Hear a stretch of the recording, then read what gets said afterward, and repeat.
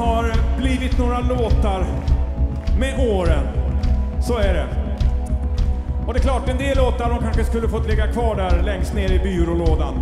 Men sen finns det de här sångerna som fortfarande är fantastiskt roliga att få sjunga. Och som också en del låtar som betyder väldigt mycket för mig.